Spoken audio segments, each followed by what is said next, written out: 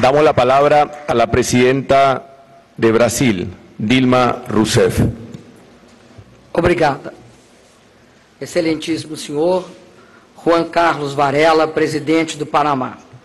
Excelentíssimas senhoras e excelentíssimos senhores chefes de Estado e de governo presentes a esta sétima Cúpula das Américas. Senhor Miguel Insulza, secretário-geral da Organização dos Estados Americanos. Senhoras e senhores jornalistas, fotógrafos, cinegrafistas, senhoras e senhores. Agradeço ao povo e ao governo do Panamá, na pessoa do presidente Juan Carlos Varela, a calorosa acolhida e a eficiente organização desta sétima Cúpula das Américas. Panamá, ponte do mundo, é hoje o lugar de reencontro das Américas. Celebramos aqui e agora a iniciativa corajosa dos presidentes Raul Castro e Barack Obama de restabelecer relações entre Cuba e Estados Unidos, pondo fim a este último vestígio da Guerra Fria na região que tantos prejuízos nos trouxe. Saúdo igualmente Sua Santidade, o Papa Francisco, pela contribuição dada para que essa aproximação se realizasse. Com o aplauso de todos os líderes presentes nesse encontro, os dois presidentes deram uma prova do quanto se pode avançar quando aceitamos os ensinamentos da história y dejamos la historia y dejamos de lado los prejuicios y antagonismos que tanto afectaron a nuestras sociedades. Estamos seguros que otros pasos se darán, como el fin del embargo, que hace más de cinco décadas hace víctima al pueblo cubano y debilita el sistema interamericano. Entonces sí seguiremos construyendo las líneas que pautarán a nuestro futuro y estaremos y seremos contemporáneos de nuestro presente, amigas y amigos. Inúmeras oportunidades nacen de este nuevo, nuevo ambiente. Y esta es la razón por la, la cual felicito el tema escogido por Panamá para esta cumbre, la prosperidad la equidad y la cooperación son valores muy queridos para todos nosotros. Juntos con la inclusión, social y la democracia, son queridos para todos nosotros y representan todo por lo que nosotros hemos luchado en los últimos años y décadas. Reflejan el espíritu que deben presidir esta nueva etapa de las relaciones hemisféricas. Desde la cumbre de Miami, nuestros avances económicos, sociales y políticos políticos en esta región han sido notables. En 1994 enfrentábamos problemas crónicos como el hambre, la miseria, el desempleo, causados en gran medida por visiones y políticas erróneas que agravaban la exclusión social. Recién salidos de regímenes Recién salidos de los regímenes autoritarios, un legado recibimos un de legado de endeudamiento, concentração de renda, concentración y de ingresos y bajo desarrollo. Hoje estamos reunidos Hoy em um estamos contexto reunidos en un diferente. contexto diferente. consolidação da democracia La consolidación de la e democracia novos paradigmas y los nuevos paradigmas em cada um políticos en cada uno de nuestros países invirtieron la lógica de acción del conferindo Estado, dándole prioridad al desarrollo sostenible con justicia América social. Latina e América Latina y el Caribe menos pobreza, tienen ahora menos pobreza, menos hambre, menos e mortalidad infantil y materna y menos analfabetismo. Pero sabemos que es necesario tener más riqueza, más, dignidad, más seguridad, más e educación. que construiremos Y así es lo que construiremos en los duda, años venideros. expectativa Sin duda de vida, alguna, o aumentamos la índice de expectativa de vida, humano el y índice del desarrollo humano y el PBI per nós, cápita. Pero um aún caminho tenemos frente a e nosotros, tenemos un largo camino y muchos retos. Também También tenemos más comercio, más inversiones y más turismo. Y en varios países, como en el mío, erradicamos el hambre, que fue un objetivo que parecía que no pudiéramos alcanzar. Y esas conquistas sociales son una demostración del vigor democrático y de la capacidad de movilización de nuestras sociedades, de nuestra capacidad de organización en los foros como es el Mercosur, la Alianza del Pacífico, UNASUR y CELAC. La afirmación de la democracia en su sentido más completo, con la participación social, es un patrimonio de gran valor en nuestra región. Es necesario preservar, ampliar y desarrollar todas estas conquistas. Y no podemos hacernos ciegos para la persistencia de desigualdades que aún nos afectan en diferentes grados a todos los países del hemisferio. Este fenómeno no pasa desapercibido para a una sociedad que nosotros ayudamos a crear y que cada vez es más inteligente, más exigente. La concentración de ingresos aún amenaza la cohesión social y el desarrollo de nuestras economías. Dicha disparidad sigue siendo aún mayor cuando se analiza bajo el prisma de género y raza, en especial en el acceso a la educación, a los ingresos y al poder. Combatir la desigualdad en todas sus manifestaciones, en el espíritu de la cooperación, es algo muy importante en todos los foros y ahora como el lema de esta séptima cumbre es el mayor reto de las Américas y del mundo del siglo XXI. Este combate aquí en nuestra América también demuestra la necesidad de un crecimiento económico continuo de nuestros países que sea capaz de asegurar la sostenibilidad de la inclusión social.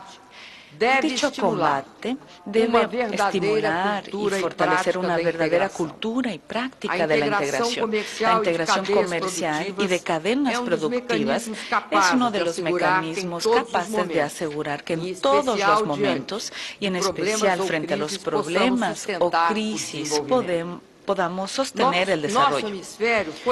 Nuestro hemisferio fue capaz de construir los arreglos de integración diversos, concretos y complementarios, que ampliaron el diálogo político, el intercambio comercial, la realización de inversiones y la integración de cadenas productivas nos acercaron política, cultural, económica y socialmente. Y ya no podemos pensar en temas como el comercio, salud y combate a las las drogas, al narcotráfico de forma local. Ya no podemos pensar en la democracia, en la promoción de los derechos humanos y en políticas que tengan como base en nuestra capacidad de sostener la inclusión por medio de la educación con base en los modelos únicos. Tenemos que tener metas únicas. Los modelos pueden ser diferentes, pero las mejores prácticas deben ser adoptadas por nosotros. Presidentes y presidentas, jefes de Estado y de Gobierno, hace tiempo que celebramos el, hecho de que de Alaska, Tierra del Fuego, nuestros países viven en paz los unos con los otros. Esperamos conmemorar en breve.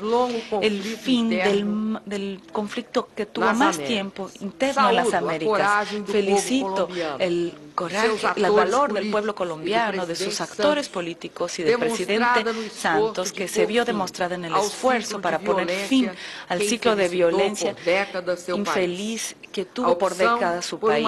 La opción por una paz negociada constituye precedente inestimable para la región y para el mundo. También celebramos los avances en la consolidación de la paz en Haití y reafirmamos nuestro firme compromiso con la estabilidad democrática, el desarrollo y la soberanía de Haití. Apoyamos la reconfiguración de la misión de estabilización de Naciones Unidas en Haití, MINUSTAH, tal como fue determinado por el Consejo de Seguridad. El buen momento de las relaciones hemisféricas ya no admite las medidas unilaterales y políticas de aislamiento. en general y siempre son contraproducentes e ineficaces. Por ello, rechazamos la adopción de sanciones contra Venezuela. El cuadro actual en ese país hermano pide moderación y acercamiento de posiciones de todas las partes. Y es con ese propósito que UNASUR trabaja para acompañar y apoyar el diálogo político entre el gobierno y la oposición en Venezuela. Y tratamos de buscar para contribuir para contribuir el pleno respeto por todos al Estado democrático de derecho y al derecho de defensa y a la Constitución. Damas y caballeros, la cooperación facilita la búsqueda de soluciones para problemas comunes a nuestro a nuestros países. Cuatro temas son especialmente relevantes, la seguridad, la educación, la migración y los cambios climáticos. Asegurar el derecho, el derecho humano fundamental a la seguridad para los ciudadanos de las Américas sigue siendo un, reto premente.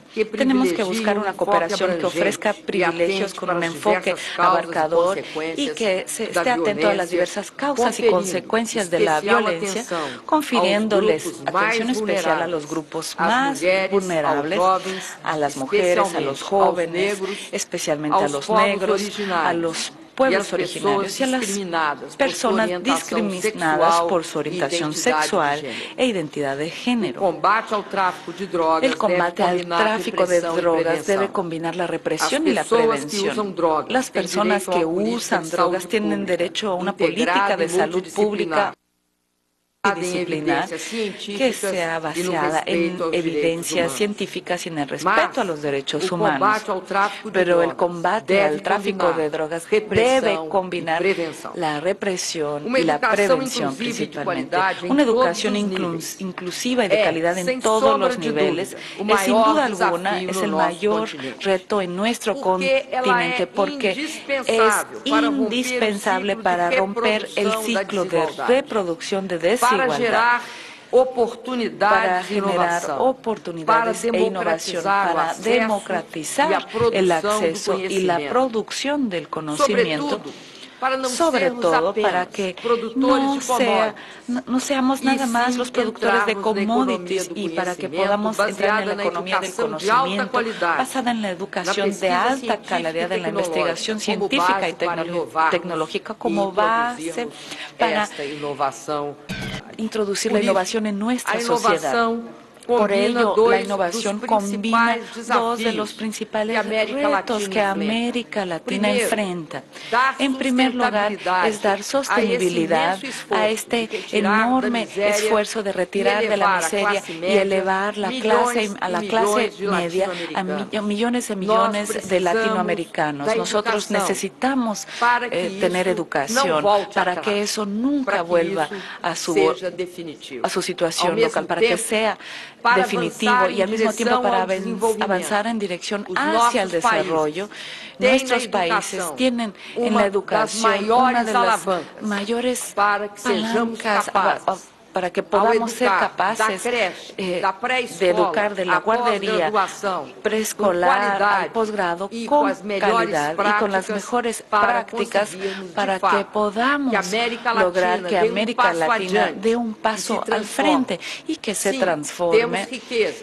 eh, riquezas y podemos ser grandes productores de commodities, pero también tenemos hombres y mujeres que serán capaces de crear un nuevo siglo de innovación y en la ciencia. El siglo XXI requiere un nuevo enfoque sobre migración que se debe centrar en los derechos humanos de los inmigrantes, ser sensible al crecimiento de los flujos migratorios entre países en vías de desarrollo, favorecer el trabajo decente y prevenir y mitigar los efectos de desastres socioambientales. Hay que seguir en el sentido opuesto de la xenofobia y de la intolerancia, ascendientes en diversas partes del mundo. Debemos impedir que eso se caracterice como la tendencia dominante aquí en América Latina. No podemos aceptar ni la xenofobia ni la intolerancia. Por otra parte, la agenda global de, cambio, de cambios climáticos también requiere avances. Con base en los debates realizados en Lima, es fundamental que la próxima conferencia de las partes en París produzca un acuerdo ambicioso, equilibrado y legalmente vinculante y que sea firmemente anclado en el marco de la Convención del Clima nuestros países, y aquí me gustaría prestar mi solidaridad, a la Presidenta Michelle Bachelet por los desastres naturales que ha enfrentado en su país.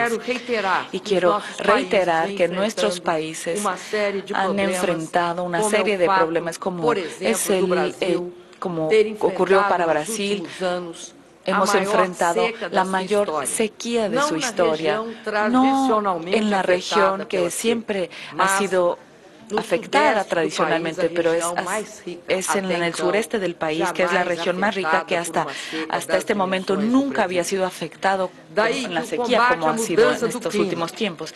Y por eso tenemos el combate al cambio climático, que afecta nuestras economías, nuestras sociedades y que atribuye penalidades para las poblaciones de nuestros países. Exige, sí, el equilibrio el crecimiento, el crecimiento de la economía, la disminución de la desigualdad social y la protección del medio ambiente.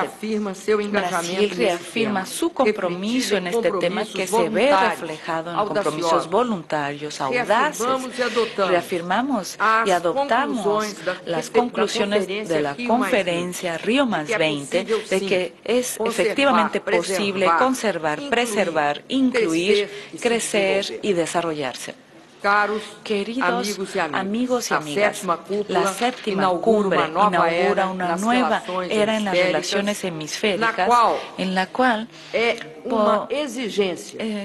una exigencia convivir con diferentes visiones de mundo, sin recetas rígidas o imposiciones.